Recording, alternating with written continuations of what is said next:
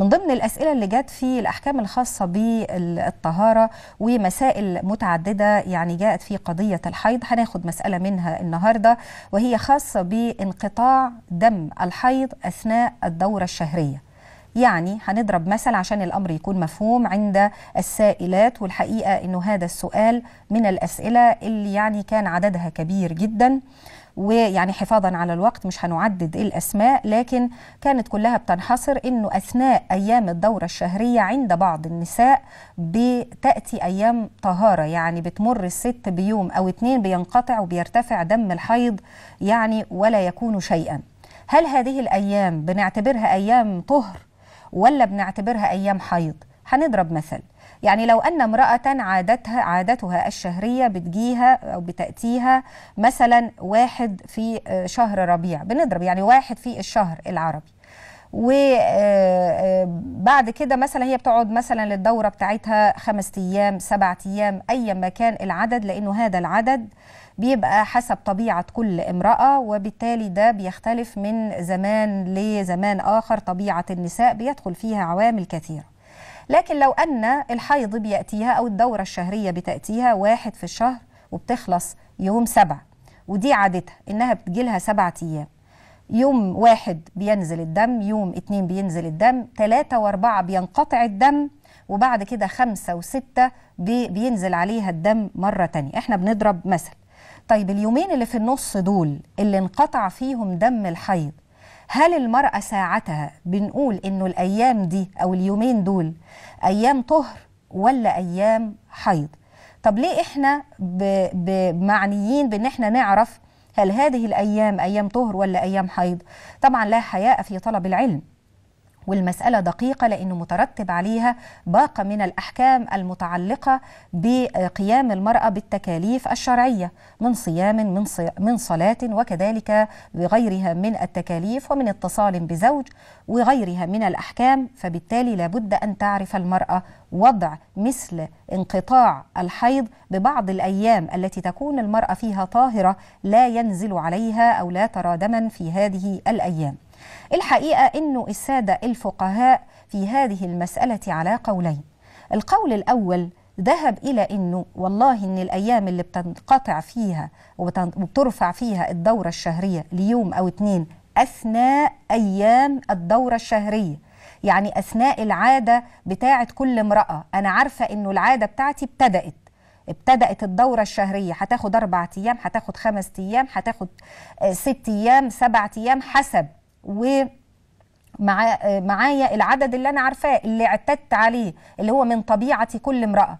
وفي النص أصابني إنه يومين أو يوم أو ثلاث أيام أثناء أيام الدورة الشهرية ارتفع الدم القول الأول ذهب إلى إنه لا المرأة اللي بيرتفع عليها الدم يوم أو اتنين دي يبقى عليها أن تغتسل وإن هي تتطهر وتبدأ في الصلاة والصيام والاتصال بالزوج وكل شيء محظور عليها إلى إنه ينزل الدم مرة أخرى. فإذا ما نزل الدم على مرة أخرى يجب أن تمتنع. فاعتبروا هذا أو اعتبر هذا الفريق من أهل العلم إن هذه الأيام أيام طهر حتى ولو كانت داخل أيام الحيض.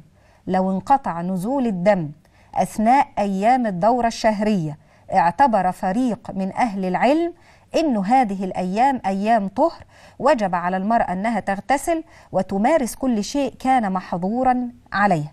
ونفس القصة في مسألة النفاس. اعتبروا على نفس هذه الشاكلة. مين من فقهائنا اللي اعتبر هذا الكلام؟ السادة المالكية وكذلك الحنابلة.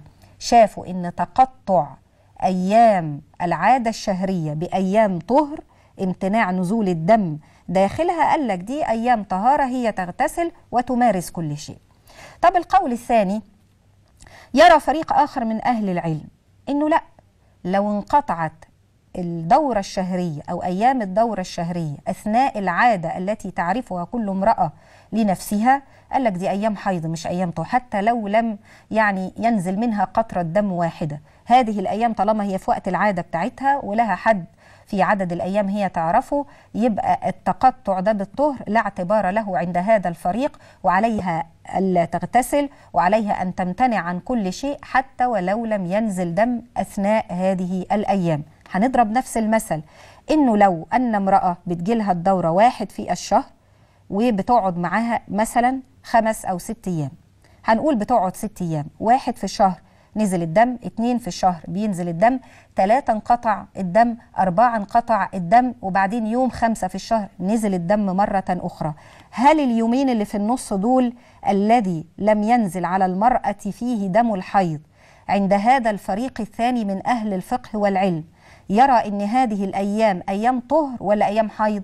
هذا الفريق الثاني يرى بأنها أيام حيض. يعني المرأة لا تغتسل في هذه الأيام وهذا هو قول الحنفية والمشهور عند الشافعية.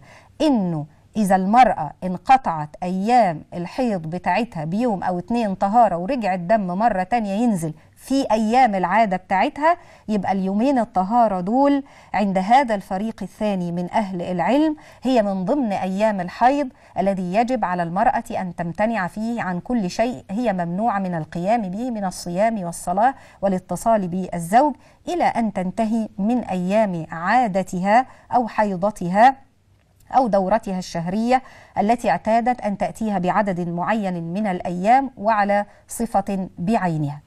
أنا أختار إيه من الرأيين؟ حضراتكم الإنسان يختار ما يشاء له. أنا أميل إلى الرأي الذي يرى بأنه لو الرأي الثاني إن لو انقطعت وهذا الرأي مش فرض على حضراتكم إنما إحنا بنبين ما قاله الفقهاء في هذه المسألة. ونرجع نقول لو في ترجيح رجح بعض أهل العلم الرأي الأول رجح بعض أهل العلم الرأي الثاني. وإحنا لما بنعرض المسألة بهذه الديمقراطية العلمية يعني إنجاز نستعمل معنى الديمقراطية بس مش على معناها ال ال ال الاصطلاحي الدقيق ولكن فكرة أنه في يعني تعددية وفي أكثر من رأي في المسألة ومن أهل اختصاص ومن أهل هذا الاجتهاد في هذا الفن إنه يرجح بعض الفقهاء الرأي الأول رأي المالكية والحنابلة. يأتي فريق آخر فيرجح هذا القول عند الحنفية والمشهور عند الشافعيه فبنجد هذه المسألة بهذا بهذه الانسيابية وهي دي اللي بنأكد عليها حركة العلم. هقول لحضراتكم أنا بالنسبة لي أرجح أي الرايين لكن أرجع أأكد على نفس القضية. لما بنقول وبنعرض آراء السادة الفقهاء بنتكلم عن فكرة إنه العلم فيه سعة.